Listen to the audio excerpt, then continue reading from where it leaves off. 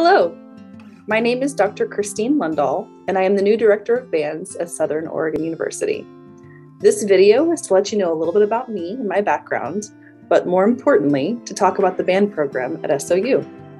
It's been a tough year not being able to play music together, and we are all so excited to be back together and work on making the bands even bigger and better than ever. I recently moved here from Ann Arbor, Michigan after receiving my doctorate in wind conducting.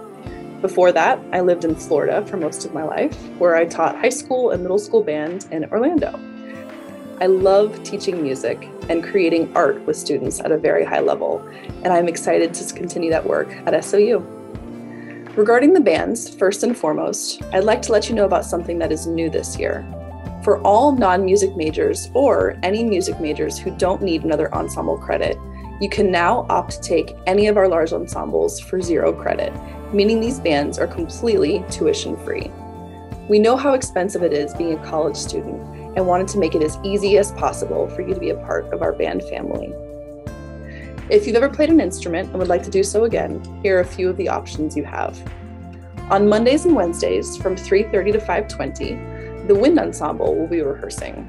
This group will play both standard and newer works for concert band, with an emphasis on bringing quality literature written by composers of diverse backgrounds to our audience. On Tuesdays and Thursdays from 3:30 to 5:20, our jazz band will be rehearsing. The instrumentation for this class includes trumpet, trombone, saxophone, guitar, bass guitar, keyboard, and drum set. We will be playing traditional big band charts and also salsa music with several gig opportunities around the community throughout the year.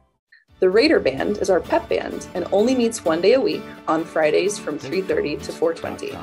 This group will play at five home football and select home basketball games.